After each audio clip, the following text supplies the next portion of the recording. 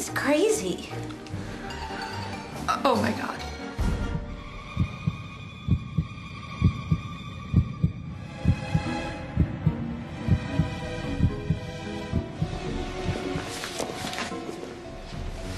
Sorry, Amanda.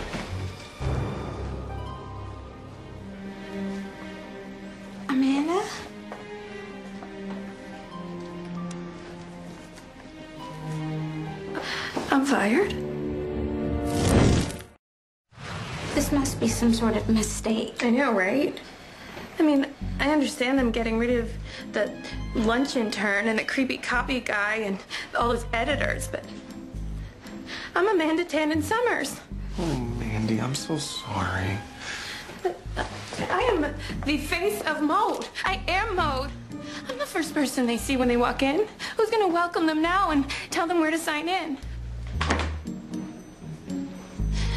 But they need to see something pretty.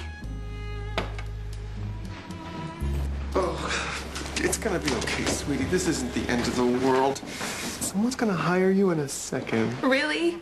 Because I can do a job that a clipboard and a vase of flowers can do. Oh, Mandy. Mark, I don't belong anywhere else.